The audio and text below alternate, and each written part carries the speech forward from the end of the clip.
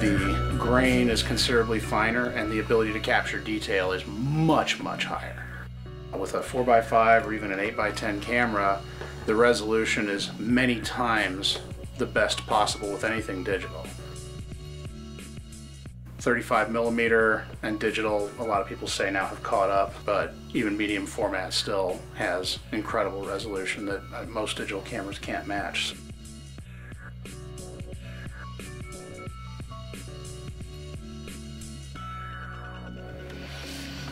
Frankly, I'm pretty pleased with the exposures almost all these. Uh, there are magazines that even until recently insisted on medium format slide for their covers because it was the only thing that would look good enough.